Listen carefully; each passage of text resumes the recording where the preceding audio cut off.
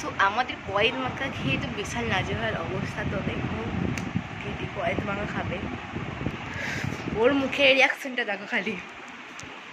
কেমন? যেমন ঝাল, তেমন টক। টক, ঝাল, মিষ্টি। তিনটার কম্বিনেশন জাস্ট ফাটাফাটি।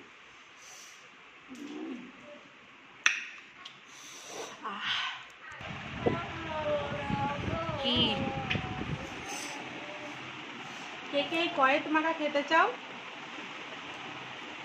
চলে এসো। আর কয়েক খেতে কে কে ভালোবাসো আমাকে কমেন্ট করে জানাও। তুই কি করছিস? তুই কি করছিস?